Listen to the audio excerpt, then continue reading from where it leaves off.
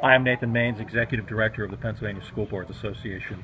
We're thrilled with our Success Starts Here campaign. It's really an opportunity for many organizations involved in education to come together and talk about the great things that are happening every single day in public education.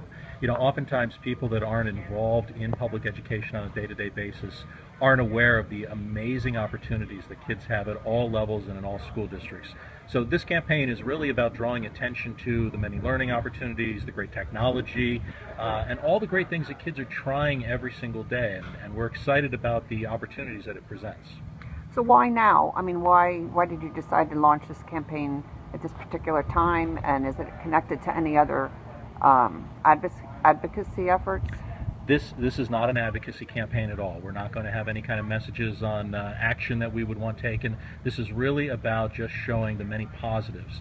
Uh, it seems like from time to time uh, there are stories out there about some of the, the perceived negative things that are happening in education at all levels, and we really wanted to make sure that uh, that we told the other side of the story, which is uh, the amazing work that kids are doing every single day and the great opportunities in front of them. And it's been a project that's been in the works for uh, well over a year, almost two years in planning and effort, and uh, we finally had all the pieces together and great partners lined up, and it was just the right time to, to go.